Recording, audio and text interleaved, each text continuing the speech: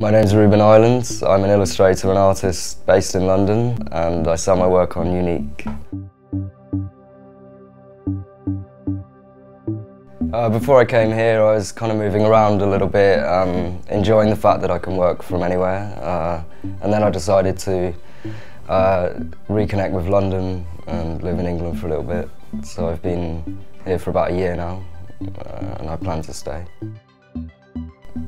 Yeah, I always wanted to be an artist, I guess. I studied illustration at university uh, in London. I think my style came from like a lot of films I was watching at the time, uh, just after I'd left university and I was feeling kind of isolated and alone. Um, and so it was a, a merging of the, that, that kind of aesthetic with that mood. Um, I find a lot of joy in, in that stark, kind of cold grey uh, aesthetic of London, so that really helped to inspire me.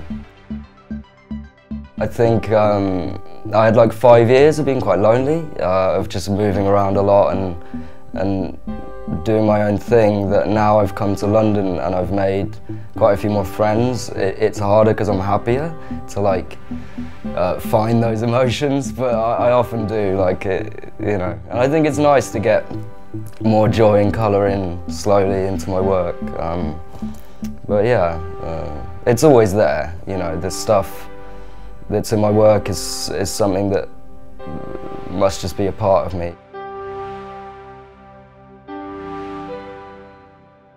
Naming my work can be quite hard. Um, if, it depends where, where I want the focus to be. So if I want the focus to be on the character, um, I'll probably give it like a woman's name. Uh, if I want it to be about an idea that I have, it'll often be a short sentence.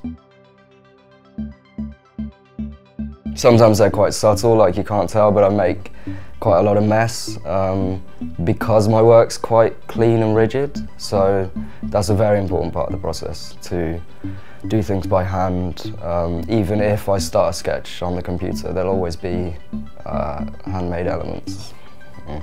I, would never work on just one piece at a time because I find then that it becomes stale and I stop enjoying it. So it's, uh, it's using one work as a holiday for another work.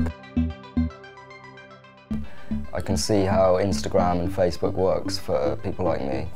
Um, but yeah, it's a lot of people and I don't really know uh, how that happens. Um, the best emails I get from from people who like my work are kids at school who might be doing a project about me or um, just want to say that they really like my work. Some of the other cool emails I get are when people uh, send me pictures of their tattoos of my work.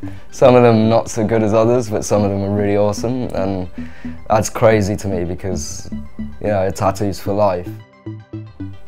Yeah, I just want to keep making work. Um, besides that, I'm quite happy.